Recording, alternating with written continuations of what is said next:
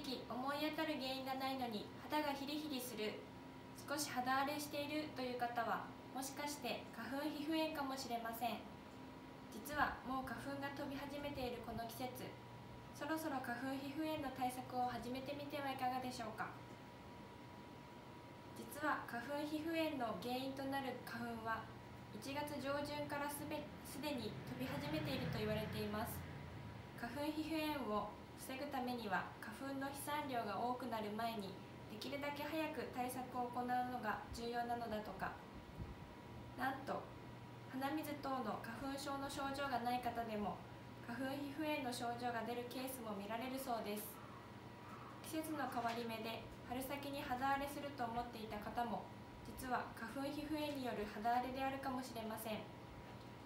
予防方法としては肌の保湿ケアを朝晩しっかり行う。UV ケアをしっかり行う。睡眠時間をしっかり確保し体のサイクルを整える。花粉を肌に触れさせないようスキンケアコスメ用品を使う。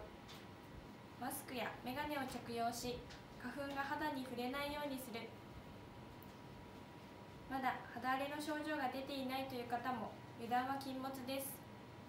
日常の保湿ケアなどがおろそかになっていないかを見直し花粉皮膚炎に悩まされない春を迎えられるようにしましょう。